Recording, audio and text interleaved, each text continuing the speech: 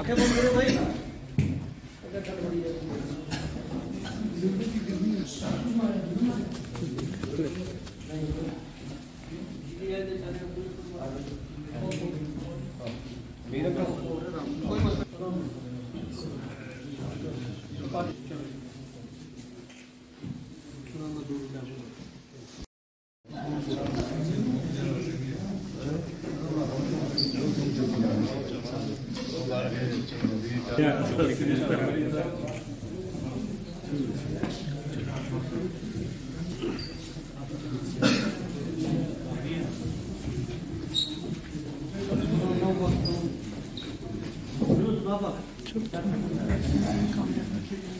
मैं सोचा असें दो आर्किट तेजदार का बड़ा दूर लग गया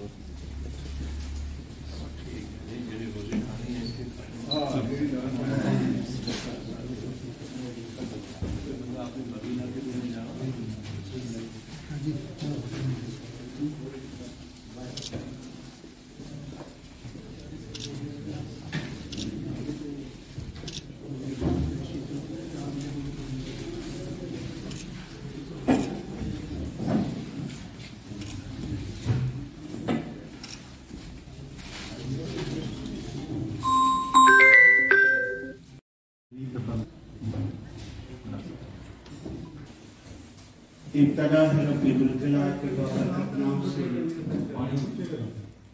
जो दिलों में छुपे हुए खूब वाकिफ है। हर इब्तदा से पहले, हर इंतहा के बाद आज मायना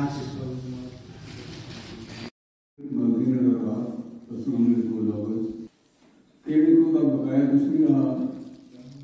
जिस वक्त ये एसएम साहब यहाँ आए थे तो हमारे दिल में कुछ बातें थी। वो क्या थी कि लोकल है ये है, वो हज़ारों बातें होती हैं। लेकिन हम अल्लाह को शुक्र अदा करते हैं कि इन्होंने अपने आप को सही लोकेलिटी में भी रखा और अपने आप को अफसर भी रखा गरीब को देखा आपको देखा। कल मुझे कुछ लोग मिले, उन्होंने कहा कि हमें बहुत दुख है कि एसपी साहब जा रहे हैं। हम दुआ करते हैं कि ये जहाँ भी गए जा रहे हैं, और फिर लोगों के जब मिले हैं वो लोगों के अरमान है। तो अल्लाह इनको दोबारा डिस्ट्रिक्ट में लाए और दो लोगों उनको पूरी करें। हम इतने आने के लिए हमेशा दुआ करेंगे। जहाँ तक रिजवान साहब का तल्लक है, आपने कोशिश की है कि लोगों के काम आए, जो फ़र्ज़ मंच भी आपको मिला, उस पर आप कितने खरे उतरे, ये आप खुद जानते हैं। इंसान जो खुद है, अगर उसका अंदर का इंसान मुतमिन है किसी काम से तो किसी की वाह वाही से कोई मतलब नहीं होता। ये चंद दिन ये ज़िंदगी होती है। कुछ लोग ऐसे होते हैं कि जो कुर्सी पर बैठ के भी कुछ नहीं कर सकते। उनसे होता भी कुछ नहीं। लेकिन कुछ लोग ऐसे होते हैं।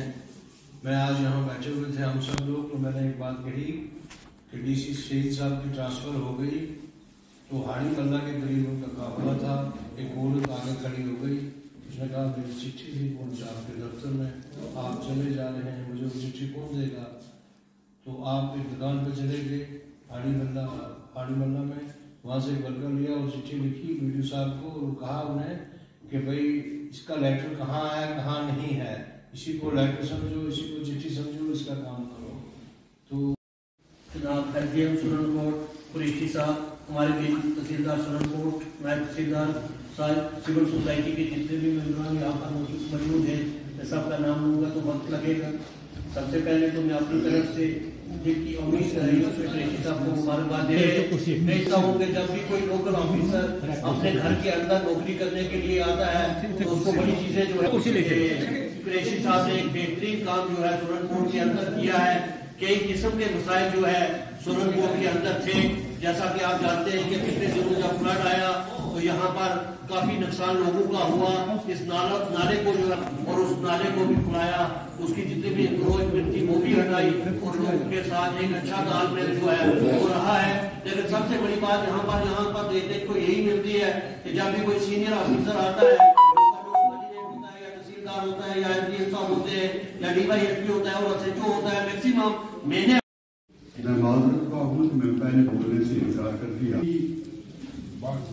वजह ये थी कि मैं यहाँ कुछ कहने नहीं आया। मैं तो सुनने आया था कि हमारे खानदान के चश्मो चराग जिन्होंने बतौर एस डी एसडीएम यहाँ खिदमत सरंजाम दी, उनके बारे में सुप्रीम कोर्ट के लोग। और जिस तरह की बातें मैंने सुनी और मैं सिर्फ़ इतना कह सकता हूँ कि इन्होंने बतौर एसडीएम हमारे खानदान की जो साख थी जो लाज थी उसको बरकरार रखा है और हम इनके भी एहसानमंद हैं और इनको मुबारकबाद सर, इसमें कहने वाली तो कोई बात है नहीं है, क्योंकि एसडीएम साहब हमारे लोकल हैं। ये इस पार्टी ये मैंने उन पर कोई एहसान नहीं किया है। इवन के जितने भी लोग आए हैं मैं उनका भी मशहूर हूँ चलो उन, उन्होंने अपना कीमती वक्त दिया इस पार्टी में शमूलियत की। तो बाकी इससे ज़्यादा क्या कहूँ वो डिज़र्व कर रहे थे तो इसलिए एसडीएम साहब के लिए हमारी नेक दुआएँ हैं जहाँ जाएँ। तो ऐसे ही जहाँ यहाँ जैसे यहाँ काम किए हैं इससे बेहतर काम करें हमारे सुरनकोट का नाम रोशन करें।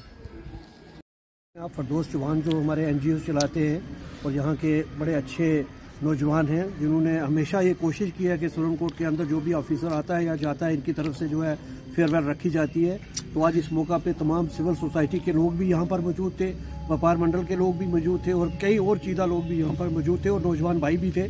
आज तमाम लोगों ने रजवान साहब के जो पीरियड यहाँ पे गुजरा है, मैं ये समझता हूँ कि एक बेहतरीन पीरियड उनका यहाँ पे एज ए लोकल ऑफिसर गुजरा है, क्योंकि जब भी कोई लोकल ऑफिसर लोकल जगह पे आता है तो बड़ी कठिनाइयों का सामना करना पड़ता है। लेकिन मैं ये दावे से कह सकता हूँ कि इन्होंने बड़ी मेहनत मेहनत और लगन से जो है वो काम किया है।